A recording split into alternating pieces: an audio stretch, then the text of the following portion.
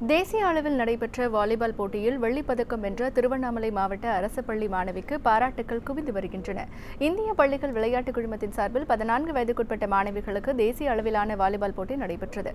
ஆந்திர மாநிலம் கடப்பாவில் நடைபெற்ற இறுதிப் போட்டியில் தமிழக அணி சார்பில் திருவண்ணாமலை மாவட்டம் கொளத்தூர் அரசு மேல்நிலைப் பள்ளியில் பயிலும் ஒன்பதாம் வகுப்பு மாணவி ஸ்னேகா பங்கேற்று வெள்ளிப்பதக்கம் வென்றார்.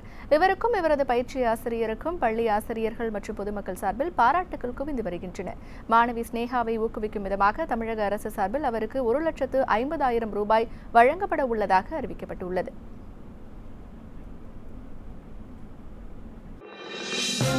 இது போன்ற முக்கிய வீடியோக்களை உடனுக்குடன் தெரிந்து கொள்ள நியூஸ் ஜே யூடியூப் சேனலை சப்ஸ்கிரைப் செய்யுங்கள்.